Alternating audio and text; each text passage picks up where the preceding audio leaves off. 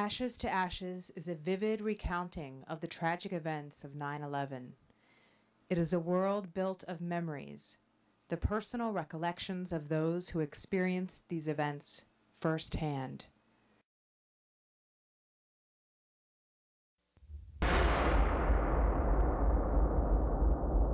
we were trying to go down and whatever, and the other people from the upper floors were coming down the exit and whatever.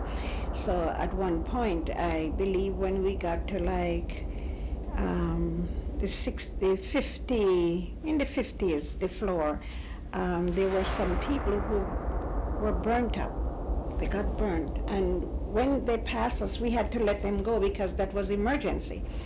And we looked at them and we didn't know whether they were black or white or pink. We, we didn't know what color they were.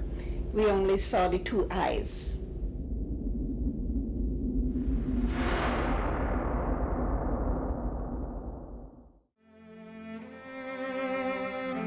Tomorrow is not promised to anyone, and we should live today to the fullest.